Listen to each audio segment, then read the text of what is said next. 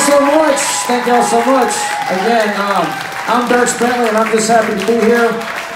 That's Tim Marks on the Fender four-string electric bass guitar, Jordan Perlson on the drums and cymbals. We play every Monday night at the Underdog Lounge and Package in East Nashville, Tennessee. So come see us. Later, y'all. Thanks.